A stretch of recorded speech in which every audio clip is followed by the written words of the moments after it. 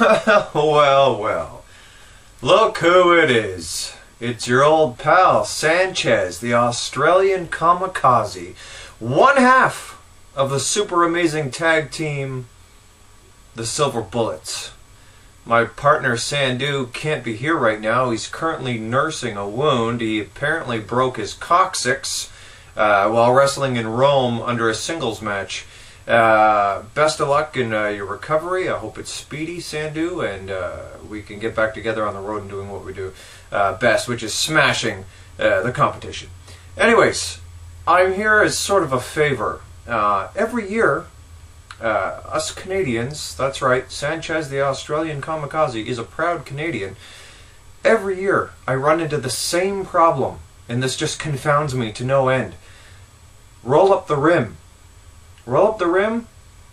Brilliant promotion. Tim Hortons doesn't get any more Canadian than that. I can buy a coffee, I can win a donut, I can win another coffee, I can win a car, I can win cash, I can win computers. Fan freaking tastic.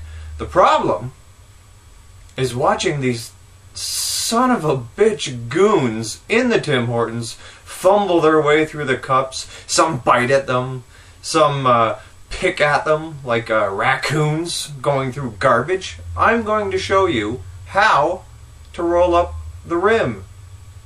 It ain't rocket surgery, folks. This is a cup. I already lost on it. Watch this. Boom. It, like loser. You don't.